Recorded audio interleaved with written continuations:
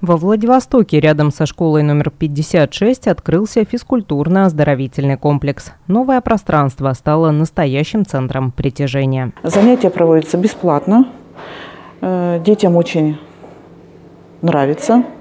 Комплекс э, большой, новый, э, хорошо оборудованный. Здесь есть и большие раздевалки, где дети могут переодеваться. Есть медицинский кабинет – детям очень нравится.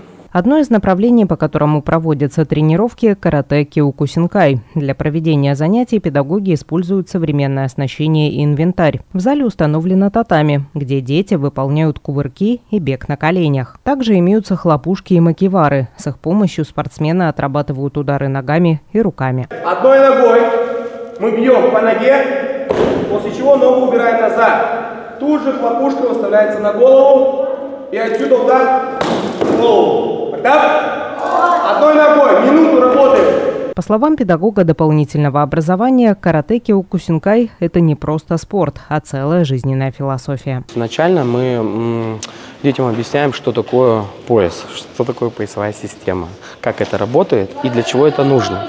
Дети, когда начинают ну, заниматься карате, мы начинаем их обучать именно блоков, удары, стойки, передвижения, это все, это все потом как-то в совокупе, и потом потихонечку начинаем их выводить на экзамен.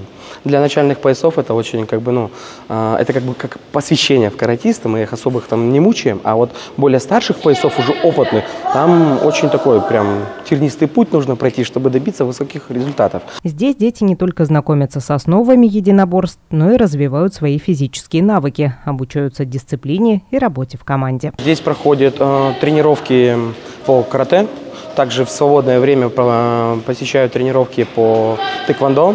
В дальнейшем планируются в свободное время м, тренировки по танцам, по гимнастике, то есть ну, максимально будут задействованы этот фокус. Стоит отметить, что тренировки во внеурочное время доступны и бесплатны для детей школ номер 56 и 76. Юлия Ракотская, Елизавета Драгомирова. Новости на восьмом.